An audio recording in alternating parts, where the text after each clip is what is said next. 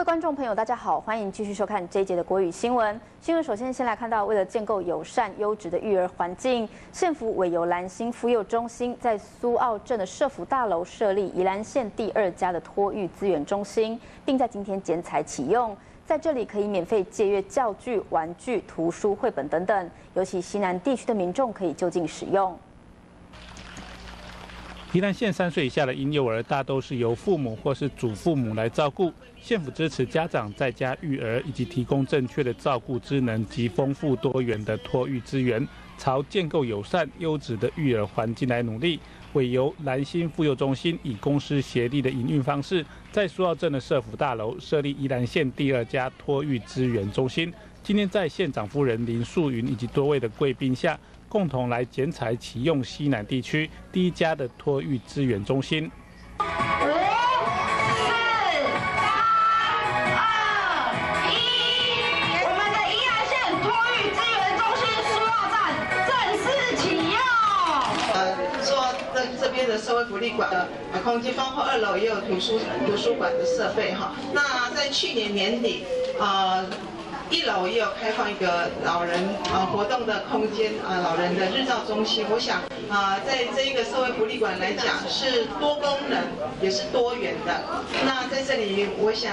啊，刚刚我从黄志祥长这边知道，我们苏澳镇的啊这个托育资源中心是宜兰县第二个啊，第一个是在我们的社福馆哈一楼。那在这边苏澳镇的证明也非常有啊有这样的呃福气哈。那最重要，我们希望我们的小孩子能够在啊快乐成长。然后在这么好的空间里面哈，啊来每天每天的进步。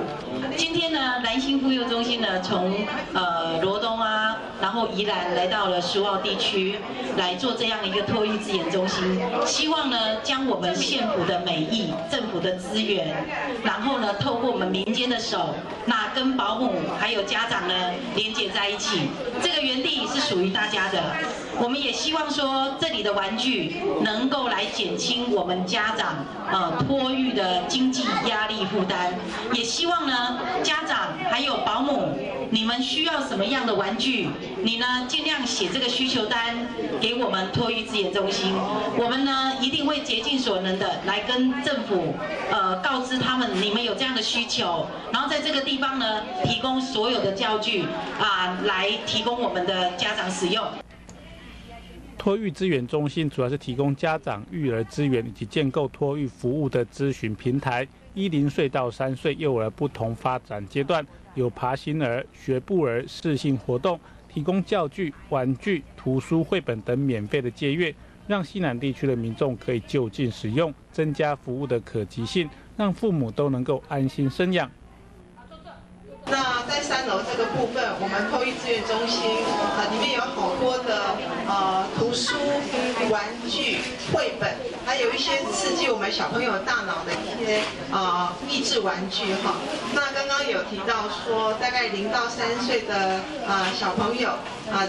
在家人哈爸爸妈妈或者是阿公阿妈，我们家人的陪同之下啊，可以来到这边哈，啊来使用这一些益智的啊玩具、图书或。绘本，那